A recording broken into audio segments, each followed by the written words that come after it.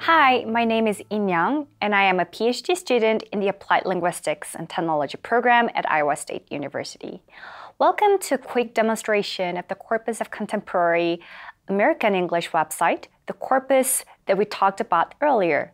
In this video, we will be highlighting the main features of the website and giving examples of how you can use it so you have an idea of what we're talking about with the web-based corpus. The Corpus of Contemporary American English, or COCA for short, is a large corpus of texts from various genres, including fiction, magazines, newspapers, and academic text that allows you to search for words and phrases in context. For example, if you want to know how the word amazing is typically used in American English, you can search for it and get a list of examples of sentences where it appears in different contexts.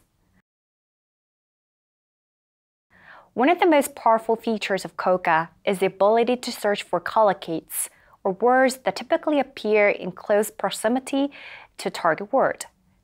For example, you can search for collocates of the word amazing. This can give you a better sense of how a word is used in natural speech and writing.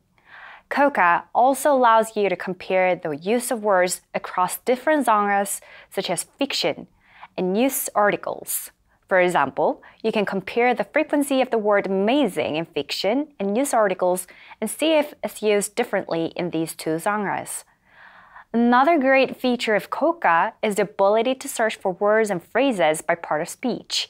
For example, you can search for nouns, verbs, and adjectives. This can be helpful for understanding the grammatical patterns of a word. Overall, the COCA website is an invaluable resource for anyone studying, teaching, or researching American English. It provides a wealth of information on how words are used in context and allows you to explore collocates, genre, and part of speech. We have hundreds of examples because COCA is a really big corpus of more than 1 billion words.